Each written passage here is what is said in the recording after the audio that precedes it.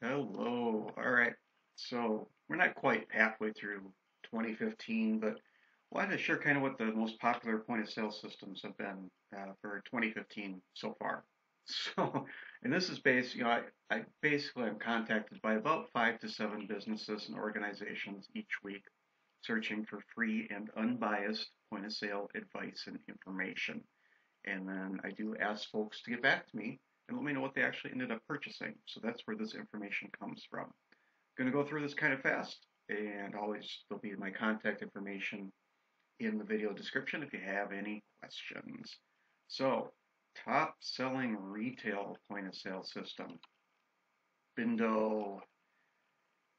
What I really like about Bindo and what folks have been telling me about Bindo is it has the affordability of the mobile systems that run on iPads and mobile devices but it has the features and functions that are normally found on legacy point of sale systems. That would be the, you know, the traditional systems that run on Windows-based computers. So Bindo wins for what folks are buying related to retail point of sale. Now, next up would be top selling point of sale system for restaurant and food service. And that is going to go to Sapphire from Khamu Solutions. These guys don't make a lot of noise. They're pretty quiet in the background, but I'll tell you a couple of things. One, their solution, the, the Sapphire point of sale solution,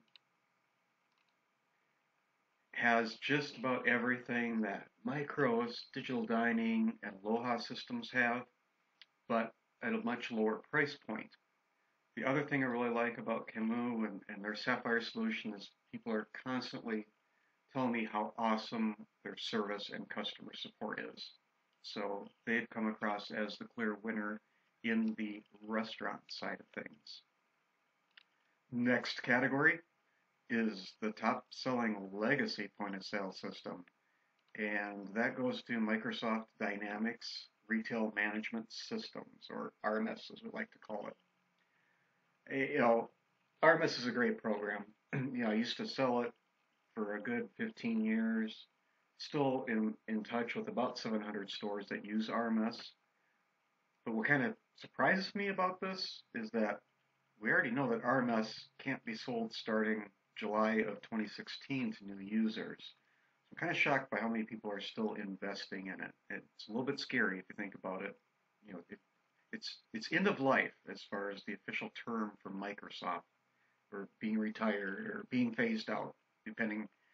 Take your take your pick of terms, but anyway, folks are still buying it, but I think that's really going to drop off here, uh, especially once folks find out that hey, it can't be sold to new customers starting next year. So why would you invest in it?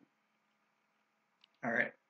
Next category is top company to use for merchant services and the winner by far is Gravity Payments.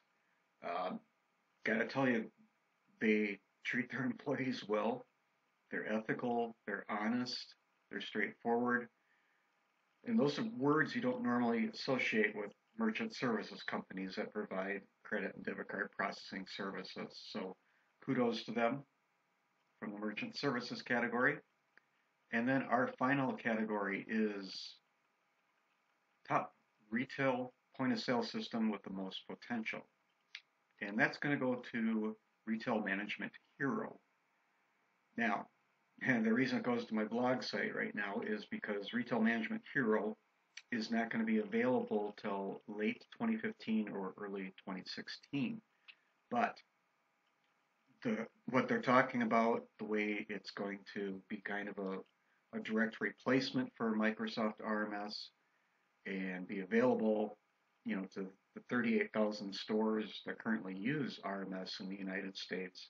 Obviously, there's a huge potential for Retail Management Hero.